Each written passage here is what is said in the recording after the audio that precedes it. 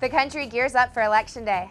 Costs for drug rehab keep some people from getting treatment. And how you can make the holidays right for needy families. Florida Focus starts now. News from the region and from around the state. It's Florida Focus. Hello and welcome to Florida Focus. I'm Shana Johnson. Today is Monday, November 1st, 2010.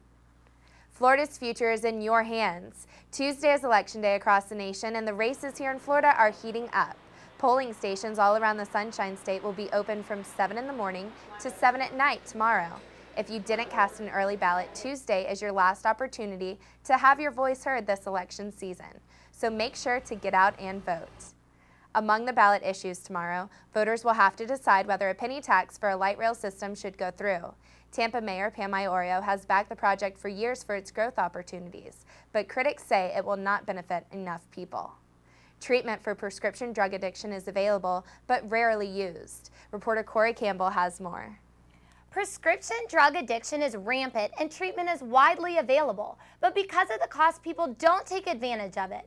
As a result of the downturn in economy, companies like Healthcare Connection have lost clients and more than 1.2 million Floridians abuse drugs and alcohol every day, according to the National Survey of Drug Use and Health.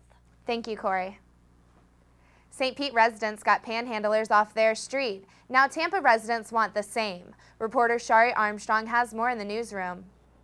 If you've driven down any of the main roads in Tampa, you've probably noticed an increase in panhandlers. The city of St. Pete banned panhandlers in June, and since then, the number of street vendors in Tampa has doubled. Now, Tampa residents want a citywide ban on street vending due to too many panhandlers in one area, and for the safety of drivers and vendors.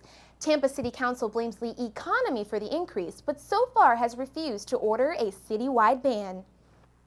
Families across the Bay Area need your help, and Metropolitan Ministries can make it possible for you to lend a hand. Items that we're looking for are non-perishable food items. They include what would go in your traditional holiday meal, stuffing, yams, uh, beans, rice. We're also looking for turkeys, frozen preferably, and uh, financial contributions as well as toys for our Christmas run.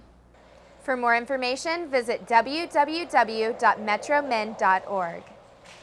Thanks for watching Florida Focus. We'll see you tomorrow.